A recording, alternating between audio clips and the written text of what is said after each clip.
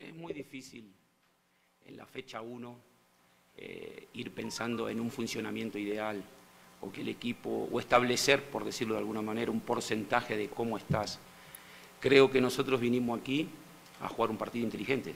Sabíamos que teníamos que hacer un partido inteligente, sabíamos dónde teníamos que, achicar los espacios, pusimos gente rápida en ataque para que luego de la recuperación saber por dónde sacar las transiciones que le podíamos hacer daño al rival y también sabíamos que veníamos a una cancha difícil, con mucho calor, un horario muy pesado y que teníamos que ser inteligentes para manejar el partido.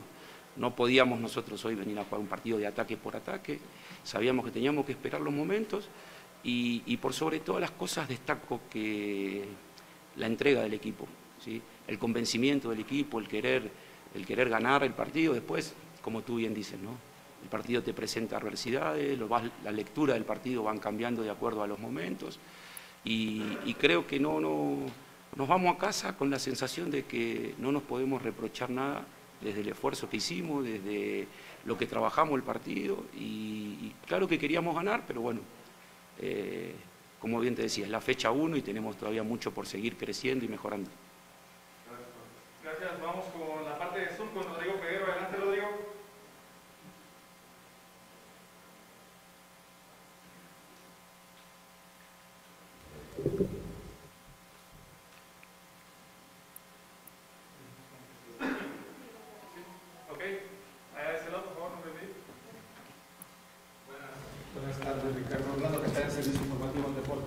Profe, hoy se va este, satisfecho con, con lo que vio dentro del campo de juego, con el punto de esta cancha tan complicada, más en el horario de mediodía eh, ante este equipo universitario? A ver, me voy tranquilo, no me voy contento porque queríamos ganarlo. Y siento que si hubiésemos estado un poquito más preciso en dos o tres situaciones puntuales que tuvimos, por ahí nos hubiésemos llevado el triunfo. Pero también hay que tener en cuenta que han debutado dos, jóvenes de fuerzas básicas y lo han hecho muy bien, tanto Parra como, como Galindo han jugado muy buen partido por ser su debut en el contexto en que les tocó jugar, han hecho un muy buen partido. Eh, el esfuerzo general del equipo me dejó tranquilo. Eh, en los momentos que pudimos tener el control, sobre todo en el primer tiempo y, en el segundo tiempo, luego de, de que se paró para hidratarse, volvimos a retomar el control del partido y tuvimos dos o tres transiciones rápidas para poder hacerle daño al rival. Y terminamos cerrando un partido que, como ustedes bien dicen, ante las adversidades el equipo se entregó. El equipo quiso, se entregó, nunca bajó los brazos y, bueno, creo que es un buen punto de partida. Pero contentos no nos podemos ir, contentos nos vamos cuando ganamos. Nos vamos tranquilos por el esfuerzo y por cómo el equipo trabajó el partido.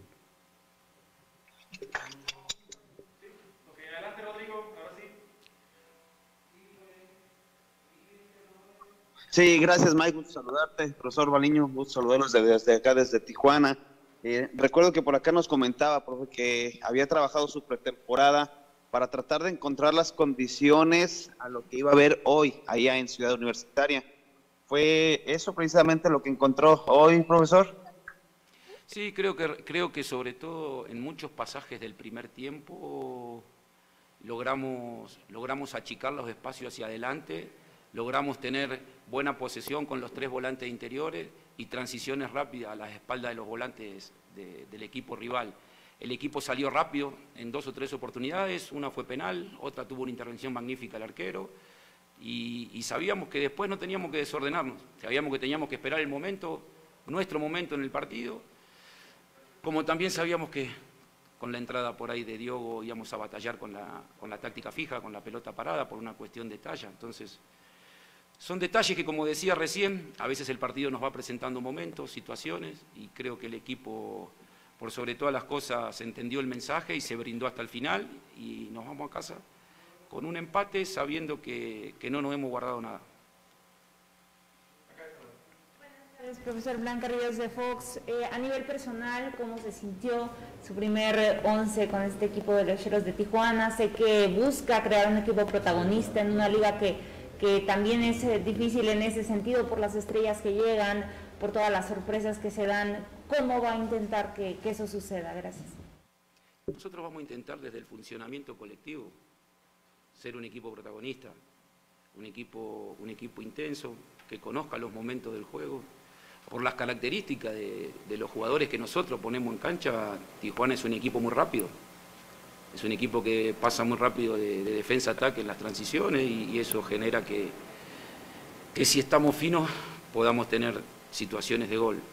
Eh, es la fecha 1 y todavía hay un camino, hay un camino por recorrer, nos va marcando, nos van marcando detalles. Sufrimos algunas situaciones ahí durante la semana que tuvimos que resolver.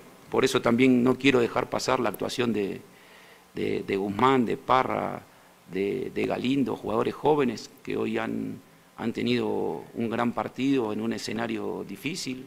Y, mientras tanto ir generando en el resto una competencia interna para que desde lo colectivo nosotros podamos ser un equipo protagonista. Eh, vamos con la parte de eso, Miriam, Miriam, adelante, Miriam, por favor.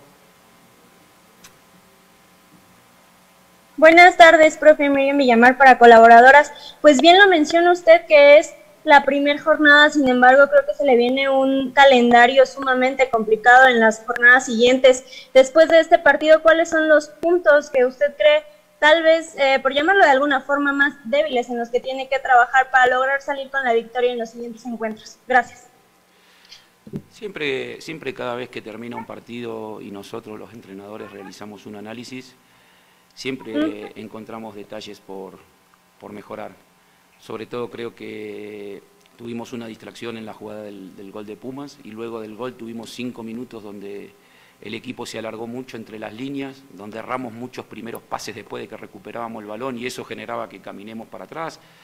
Y luego el equipo se volvió a reordenar y a salir y eso generó que tengamos dos situaciones también claritas, una en posición adelantada y otra que tapa muy bien el portero. Entonces, detalles, detalles que nos van, nos van mostrando el, equipo partido a partido, pero como bien digo, es la fecha uno y todavía hay un largo camino por recorrer, mucho por mejorar, mucho por seguir potenciando a, determinados jugadores que nosotros confiamos mucho y que creemos que, eh, queremos que este torneo estén en el nivel que todos lo conocemos. Gracias, profe, buen regreso. Muchas gracias. ¿Qué tal, profe Ricardo? Basoto, Blue Deportes. Entiendo que es la jornada 1, apenas empieza esta nueva aventura en la apertura 2022, pero el reto y el objetivo principal es ser protagonista en el torneo o salvar a Cholos de otra multa económica al terminar el mismo. El primer objetivo es ser protagonista y calificarlo. Y va a ser una consecuencia. Si nosotros para poder calificar necesitamos sumar una determinada el jugador del conjunto de Tigres, luego llegaría también ese si eh, logramos calificar al equipo es porque sumamos una cantidad de puntos importante que nos permita escapar de la situación que hoy hoy nos toca vivir. Gracias. ¿Alguna última pregunta de los compañeros presentes? Acá este lado. Profe Galindo Cristian Moya de Lautaro Sports. En la parte personal, ¿cómo sabe volver al máximo circuito, estar en el Olímpico Universitario, estar eh, en la expansión y ahora, después de tanto trabajo, poder vivir de nuevo lo que es estar aquí en la primera división? La verdad, muy feliz, muy feliz, agradecido a, la directiva por haber confiado para darnos este proyecto.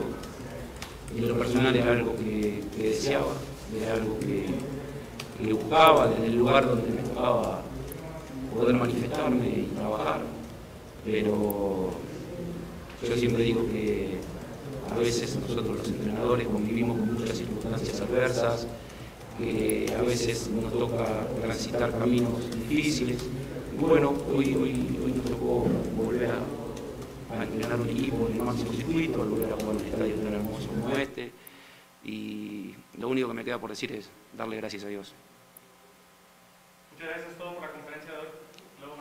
Que tengan un fin de semana, muchachos.